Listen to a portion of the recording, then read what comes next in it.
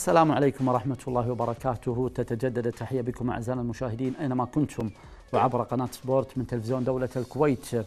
يسعدنا أن نلقاكم مرة أخرى من جديد في برنامجكم اليومي ما بين السطور حيث المواضيع الخاصة والمتنوعة بالصحافة الصادرة الرياضية تحديدا لهذا اليوم. وقبل الدخول مشاهدين والتعمق أكثر في صحفنا المحلية الرياضية يسعدنا أن يكون معنا في الاستوديو الأستاذ رئيس القسم الرياضي بجريدة السياسة للتعليق على بعض الأخبار الواردة في الصحافة الرياضية المحلية وكذلك الخليجية الأستاذ سطام الأسهلي.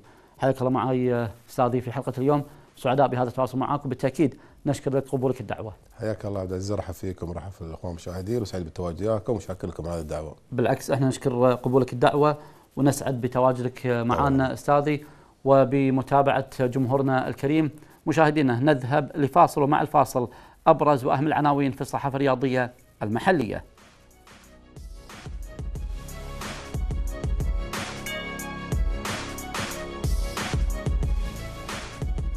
نبدأ مع جريدة الجريدة التي عنونت الشمري. سأرفع تقريرا بشأن المشاركة في خليج 24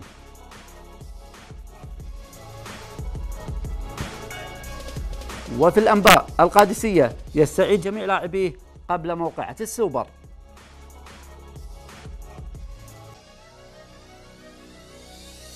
وفي صحيفة السياسة سلة الأبيض يسعى للحفاظ على الصدارة أمام الشباب اليوم.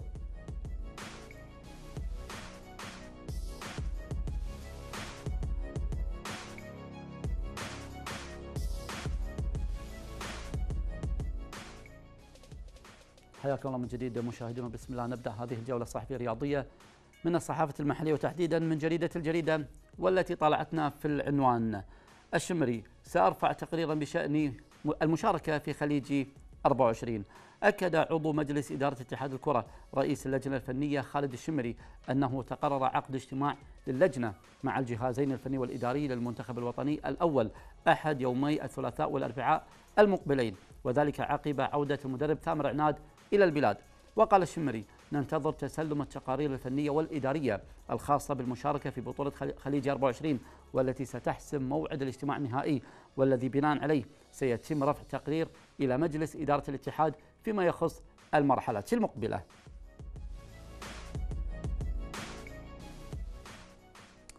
رجعنا معكم مشاهدينا ومع الأستاذ رئيس القسم الرياضي بجريدة السياسة الأستاذ والإعلام الرياضي الأستاذ سلطان السهلي أستاذ يجد لك التحيه بداية ماذا سيتمخض عن اجتماع اللجنة الفنية مع الجهازين الفني والإداري للمنتخب الكروي الأول من وجهة نظرك؟ والله شوف بلا شك يعني يمكن الكل حزين على خروج منتخبنا من. الخليجي 24 بهذا الشكل بهذا الشكل أعتقد اللجنة الفنية أيضا والجهاز الفني والجهاز الإداري سيكون لديهم تقرير يرفعونه إلى مجلس الإدارة بالضبط. حتى يتم اتخاذ قرار.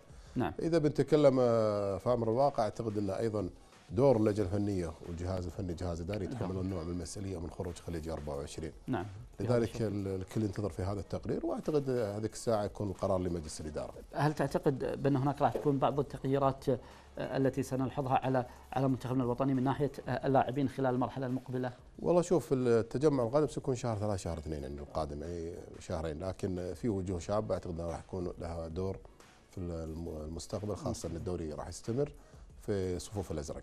نتمنى التوفيق للجميع وللقائمين على اتحاد الكرة برئاسة الشيخ أحمد اليوسف وأخوانه أعضاء مجلس الإدارة. نفتح جريدتنا جريدتنا الثانية مشاهدينا وهي الأنباء ونقرأ من خلالها. القادسية يستعيد جميع لا- لاعبيه قبل موقعة السوبر. رفع الفريق الأول لكرة القدم في القادسية من وتيرة تدريباته أمس والتي شهدت عودة جميع لاعبي الأزرق بعد انتهاء مشاركتهم في خليج 24 استعدادا لكأس السوبر أمام نادي الكويت يوم الخميس القادم. وفي هذا الصدد قال مدير الكرة في النادي ناصر بنيان إن صفوف الأص... الأصفر في السوبر ستكون مكتملة في حال عودة بدر مطوع ورضا هاني من الإصابة.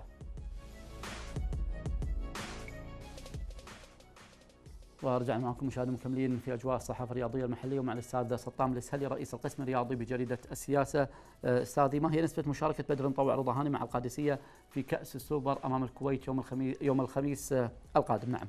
والله شوف آه، تصريح مدير الفريق ناصر بن يمكن قال الفريق جاهز. باستثناء يمكن بدر ورضا هاني آه، يمكن هذه يقررها الجهاز الفني أو الجهاز الطبي. نعم. مدى تشافيهم إنهم يلعبون السوبر أمام نادي الكويت. نعم. لكن أعتقد بنسبة كبيرة يمكن بدر مطوع يكون متواجد بشكل كبير لأن حسب الأنباء من نادي قادسيه إنه إصابته خفيفة يعني غير مغلقة. نعم. خروج نادي الكويت أستاذي في معسكر تدريبي خاص في دبي بدولة الإمارات العربية. وكذلك استعدادات نادي القادسيه لهذه الموقعة. تشوف الأقرب لهذا اللقب؟ والله شوف الكويت والقادسية أصبح يعني منافسة منافسة تقليدية, تقليدية بينهم كل واحد عارف أوراق الثاني. يمكن نادي الكويت يسعى دائما في اغتنام الفرص إقامة معسكرات خارجية خاصة. صحيح. إذا اللاعبين الدوليين مو موجودين حتى يكون برتم عالي. صحيح. نادي القادسية بلاعبين أيضا الدوليين انضمامهم لفريق القادسية. يكون جاهز للمباراة هذه. آه، مباراة أنا أقول لك تقدر تقول متوازنة أو متكاتفة الأطراف. الأطراف. نعم. أتمنى التوفيق كذلك للفريقين في هذه الموقعة الكروية وكأس السوبر الكويتي ما بين الكويت والقادسية يوم الخميس القادم.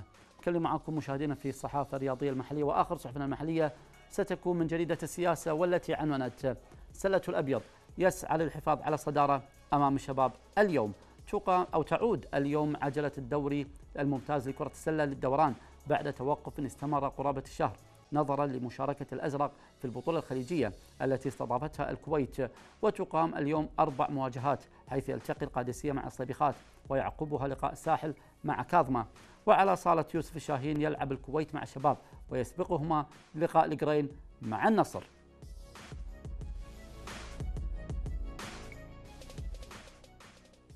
وما زلنا مستمرين معكم مشاهدينا مع الأستاذ سطام السهلي رئيس القسم الرياضي بجلسة السياسة. أستاذي بداية مع وصول منتخب الكويت إلى المباراة النهائية في كأس الخليج لكرة السلة. هل سينعكس هذا الأمر على على قوة الدوري دوري السلة عندنا من خلال المراحل القادمة؟ أول شيء شوف وصول ممكن منتخب الكويت لكرة السلة النهائي الخليج أعتقد كان مفرح للجميع خاصة عودة منتخب السلة إلى شوي أجواء البطولات والمنافسات وعودته.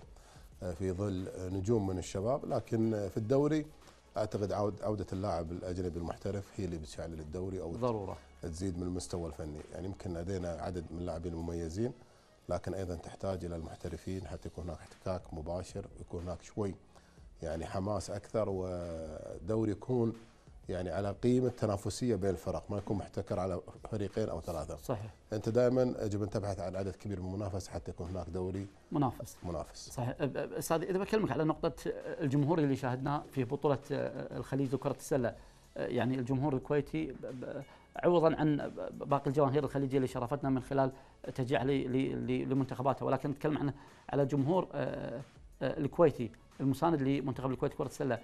شلون تشوف ثقافة الجمهور الكويتي لدعم لجميع الألعاب؟ يعني قبل كنا نقول والله بس لا الجمهور فيما يخص كرة القدم وتشجيع لكرة القدم لا الجمهور تلقاه موجود كرة اليد كرة السلة. شوف الجمهور الكويتي دائما رياضي ويكون مؤازر منتخبنا. ترى حتى في الألعاب الفردية بعض نعم. البطولات تحصل جماهير. جماهير لكن. شفناه من اللوحة الفنية الجميلة الجماهير الكويت في بطولة خليجية للسلة كان جدا يعني صحيح. يعني أكثر من رائع. صحيح صحيح. نتمنى التوفيق آه، كذلك للقائمين على كرة السلة المحلية والارتقاء فيها إلى آه، منصات التتويج سواء على المستوى المحلي الإقليمي وكذلك القاري. كمل معك أستاذنا في أجواءنا الصحفية الرياضية الخليجية. هذه المرة ومن بعد ما انتهينا في الجولة الرياضية المحلية بمشاهدينا نذهب لفاصل قبل البدء باستطلاع الصحف الخليجية والعربية مع أبرز وأهم العناوين.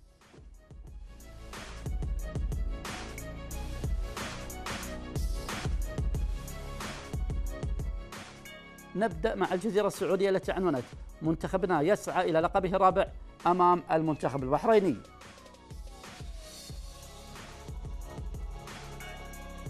وفي الأيام البحرينية سوزا سنلعب من أجل الفوز.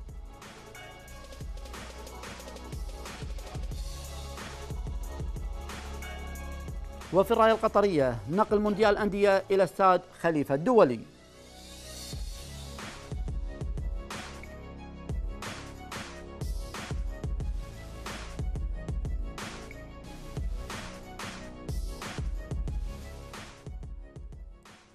الله من جديد مشاهدينا ومستمرين معاكم ومن أجواء الصحافة الرياضية المحلية إلى أجواء الصحف الرياضية العربية وتحديدا من الصحف الخليجية وبدايتها من الجزيرة السعودية والتي عنونت منتخبنا يسعى إلى لقبه الرابع أمام المنتخب البحريني. يلتقي مساء اليوم الأخضر السعودي مع شقيقه المنتخب البحريني في نهائي كأس خليجي 24 الذي يقام هذه الأيام في دولة قطر في نهائي يعتبر على مدى يعبر عن مدى الحب الكبير للشقيقتين السعودية والبحرين من أجل الظفر بلقب البطولة. المنتخبان نجحا بجدارة في فرض كلمتهما في الوصول للنهائي بعد البداية المتعثرة لكل منهما وعاد بقوة في ختام دور المجموعات للتأهل لدور الأربعة ثم الوصول للنهائي.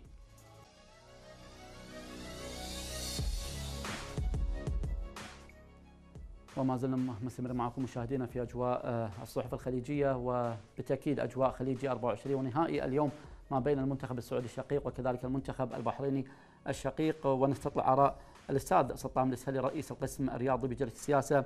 أستاذ بداية هل توقعتم وصول المنتخب السعودي إلى النهائي خاصة بعد تعثره في البداية أمام المنتخب الكويتي ب 3-1 والله شوف أعتقد وصول المنتخب السعودي والمنتخب البحريني لنهائي خليج 24 كان الأحق خاصة الأحق. شفناهم آه، صحيح. الجولة الثانية الجولة الثالثة أو الدور قبل النهائي نعم ممكن في الجولة الأولى تعثر المنتخب السعودي أو المنتخب الكويتي لكن هذا حصل في الدورات السابقه صحيح لكن اليوم تتكلم عن مستوى فني أعتقد إنهم كانوا الاحقين في الوصول النهائي بالتأكيد أتمنى لهم مباراة آه، موفقة أتمنى أيضا نشوف مستوى فني يليق في هذا النهائي. إن شاء الله.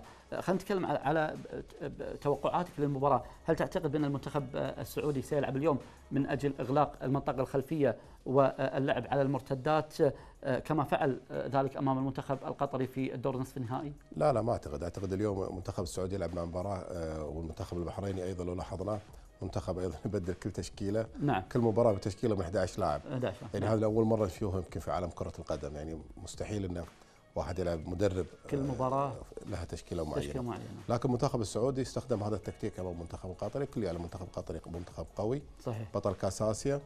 آه لذلك اغلاق المنطقة والاعتماد على المرتدات. مرتدات. بالاستفادة من بعض المهاجمين السعوديين اللي يمتازون بالسرعة والمهارة. أعتقد كان ناجح وبالنهاية هو وصل للنهايه صحيح. لذلك انت لكن استخدام هذا الاسلوب ما يكون كل المباريات مباراة أعتقد شوي كفه المنتخب السعودي أيضا أمام المنتخب البحريني تفرق عن مباراة المنتخب القطري. نعم. لذلك أعتقد اليوم المنتخب السعودي أيضا سيكون أكثر تكتيكيا وفعاليه من انه يغلق المنطقة سيذهب إلى التسجيل. آه، بالنسبة لتصريح مدرب البحريني سوزا آه، سنذهب للفوز للفوز. أيضا مدرب. أعتقد هي مباراة ما فيها تعادل مباراة فيها فوز أو خسارة. صحيح. يعني ما راح يكون عندك الأمر إلا إنك تبحث عن الفوز. الفوز. لكن آه، أيضا اتمنى التوفيق المنتخب البحريني. أمام المنتخب السعودي تحقيق أول لقب المنتخب السعودي سيتحقق اللقب الرابع. مباراة صعبة صراحة مش سهلة نتمنى التوفيق للمنتخبين وعلى طاري سوزا وسنلعب من أجل الفوز. نروح للخبر التالي مع سوزا ومعك أستاذي ومعاكم مشاهدينا وصحيفة الأيام البحرينية التي عنونت سوزا. سنلعب من أجل الفوز. قال مدرب منتخب البحرين الوطني البرتغالي هيليو سوزا أن المنتخب سيدخل المباراة النهائية من أجل الفوز وتحقيق اللقب عبر تقديم أفضل وأقوى أداء ممكن. وذكر هيليو سوزا في المؤتمر الصحفي الذي يسبق اللقاء أن المباراة النهائية أمام المنتخب السعودي ستكون مغايرة مباراة دوري المجموعات مشيرا إلى أهمية أن يكون المنتخب أكثر فعالية في الشق الأمامي.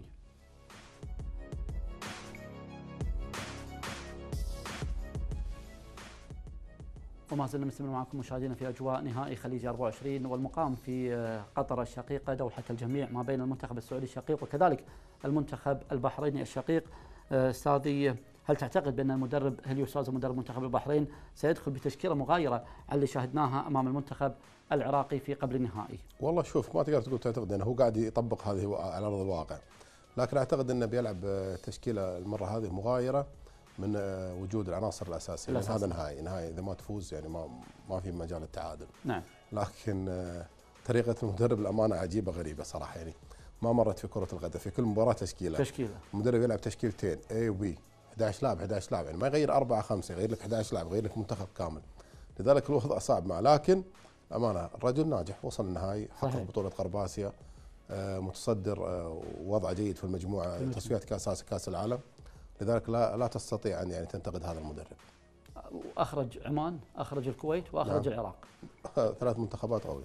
وهم أبطال سابقين، رأيك في على مستوى المدربين من المدرب اللي لفت نظرك خلال بطولة خليج 24 والله مدرب المنتخب السعودي صراحة السعودي. نجح تكتيكيا رينارد رينارد آه، في انضباط التكتيكي داخل ارضيه الملعب لأن عنده عناصر تأهله نعم لكن المدرب اللي كان فاجئ الجميع أعتقد مدرب البحرين أيضا في طريقته الغريبة العجيبة نعم. لكن أيضا آه، مدرب المنتخب السعودي بصراحة استطاع أن يقتنص فوز ثمين على المنتخب القطري قطري. يعني صاحب الإمكانيات صحيح. صاحب الأفضلية.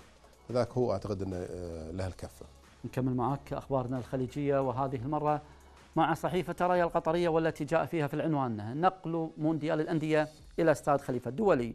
أعلنت اللجنة العليا للمشاريع والإرث والاتحاد الدولي لكرة القدم فيفا استضافة استاد خليفة الدولي ثلاث مباريات إضافية ضمن منافسات كأس العالم للأندية التي تقام في قطر للمرة الأولى من الحادي عشر إلى الواحد والعشرين من ديسمبر الجاري.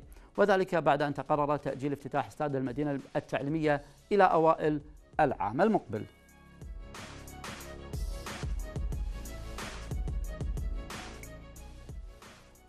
وما زلنا معكم مشاهدينا في أجواء الصحف الخليجية. مع الاستاذ سطام الاسهلي رئيس القسم الرياضي بجريدة السياسة. أستاذي لماذا تم نقل مباراة كأس العالم للأندية من استاد المدينة التعليمية إلى استاد خليفة الدولي بداية؟ أعتقد تصريح اللجنة المنظمة أن الاستاد لم ليس جاهز ليس يكون جاهز. في 2020 نعم. في منتصف لذلك تم نقل استاد خليفة. على مستوى الفرق المشاركة يعني قطر آه، لأول مرة تستضيف كأس العالم للأندية. آه، عارفين أن الهلال السعودي بما انه بطل آسيا كذلك السد القطري مستضيف البطولة. توقعاتك لهذه الفرق العربية في هذه البطولة العالمية؟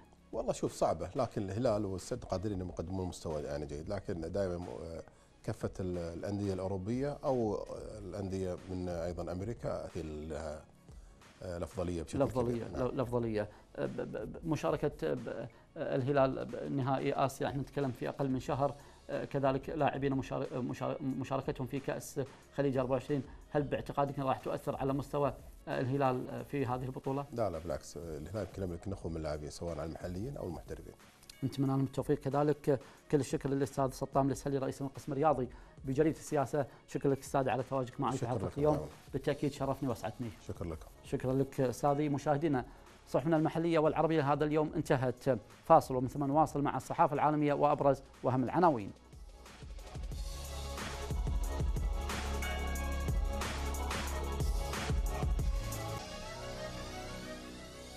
بداية مع صحيفة الإكسبريس راشفورد يظهر بأفضل أثوابه.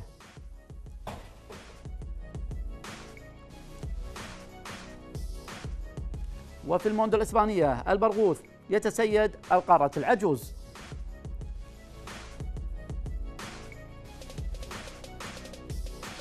وفي كرة الإيطالية النسور تكسر عقدة الأولمبيكو بعد 16 عاماً.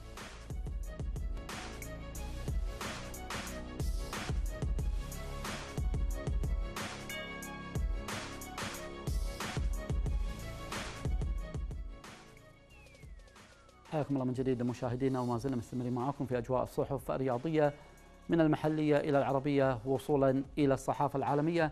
ونستهل جولتنا العالمية من صحيفة إكسبرس والتي عنونت راشفورد يظهر بأفضل أثوابه.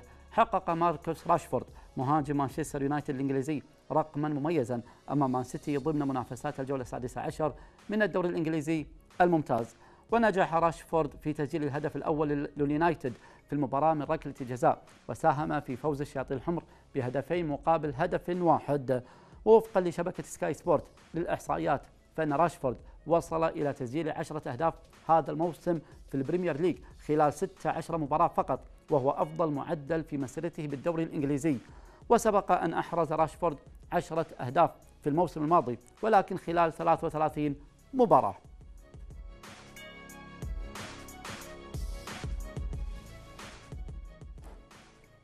بالتأكيد عشاق الدوري الإنجليزي أمس تابعوا وشاهدوا مباراة مانشستر قطبي مانشستر يونايتد أو قطبي مانشستر ما بين اليونايتد والمان سيتي والتي انتهت بفوز اليونايتد 2-1 آه، أعتقد أن كل الفرق قاعد تعمل لصالح ليفربول آه، اللي قطاره إلى الآن ماشي آه، لم لم لم يتكبد أي خسارة ابتعد بقرابة ال 13 نقطة. آه، عن آه، أقرب منافسيه أو ملاحقيه آه، مانشستر سيتي. فكل الفرق قاعد تمهد الطريق لليفربول للعودة إلى منصة التتويج كبطل للدوري الإنجليزي الممتاز. كمل معاكم مشاهدينا في أجواء الصحف العالمية وهذه المرة مع صحيفة الموندو والتي كشفت في العنوان. البرغوث يتسيد القارة العجوز. قاد ليونيل ميسي فريقه برشلونة للانتصار بنتيجة 5-2 على ريال مايوركا ضمن منافسات الجولة السادسة عشر من الليغا. وسجل ميسي هاتريك في الدقائق السابعة عشر 41 و83 وأصبح الأكثر لاعب تسجيل للثلاثيات في تاريخ الدوري الإسباني بواقع 35 مرة. وأشارت الشبكة إلى أن ميسي تخطى رقم البرتغالي كريستيانو رونالدو نجم ريال مدريد السابق صاحب ال 34 هاتريك. كما ذكرت الشبكة أن البرغوث هو اللاعب الوحيد بالدوريات الخمس الكبرى في أوروبا الذي سجل عشرة أهداف أو أكثر بآخر 14 موسما.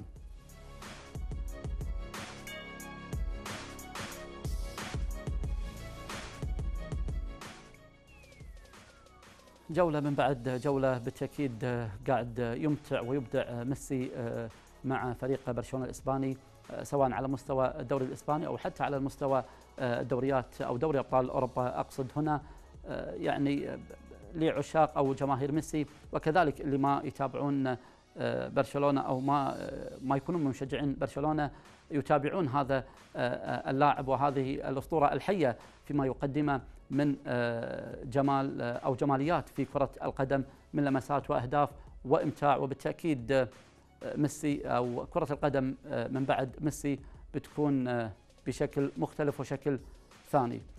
ونكمل معكم مشاهدينا في أجواء الصحف العالمية وهذه المرة مع الصحافة الإيطالية وتحديدا من صحيفة كوريري. النسور تكسر عقدة الأولمبيكو بعد 16 عاما. تكبد يوفنتوس الإيطالي الهزيمة الأولى له هذا الموسم بعدما خسر أمام مستضيفه لاتسيو بنتيجة 1-3 في المباراة التي جمعتهما بملعب الأولمبيكو بالجولة الخامسة عشر من الدوري الإيطالي لكرة القدم. وذكرت شبكة أوبتا للإحصائيات أن لاتسيو تمكن من فك عقدة الانتصارات على ملعبه بالأولمبيكو أمام اليوفي والتي لازمته لسنوات طويلة. وأضافت أن آخر فوز كان للنسور على سيدة العجوز بملعب الأولمبيكو يعود إلى ديسمبر لعام 2003 أي منذ 16 عاما عندما كان روبرتو مانشيني على رأس القيادة الفنية لفريق العاصمة الإيطالية.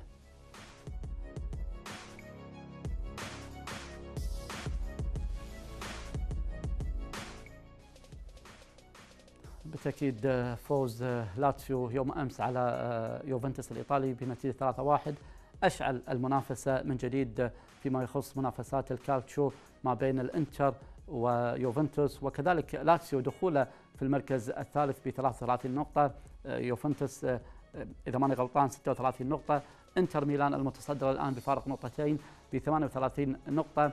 بالتأكيد إن كل هذه الأمور تزيد. من حماس المباريات من شغف الجماهير والمحبة للكرة الإيطالية بأن جمال كرة القدم الإيطالية أو أو الدوري الإيطالي لم ينتهي بسرعة مثل ما شاهدنا في السنوات السبعة أو الثمان الماضية بأن اليوفي يحسم الأمر مبكرا. فعودة الإنتر عودة كذلك لاتسيو روما عودة كبير إيطاليا ميلان على مستوى الدوري الإيطالي بالتأكيد ستعزز من يعني مكانة الدوري الإيطالي وقوة الدوري الإيطالي على المستوى المحلي وكذلك على المستوى الأوروبي.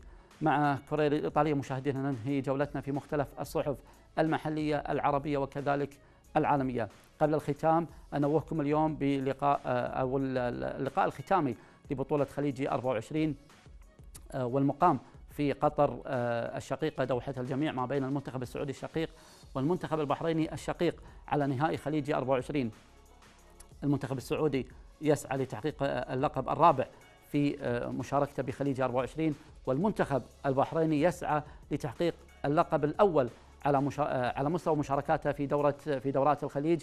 والكل عارف إن إن يعني البحرين الشقيقة هي صاحبة فكرة بطولة الخليج.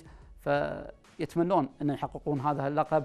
وإن شاء الله ما تكون بعيدة عنهم وكذلك أمنياتنا وأمانينا الإيجابية للمنتخب السعودي في هذه المباراة وتظهر مباراة جميلة شيقة على المستوى الكروي الفني وكذلك التنظيمي. كان هذا كل شيء مشاهدينا في حلقة اليوم، لقانا معكم إن شاء الله في حلقة الغد. إلى ذلك الحين طبتم وإلى اللقاء.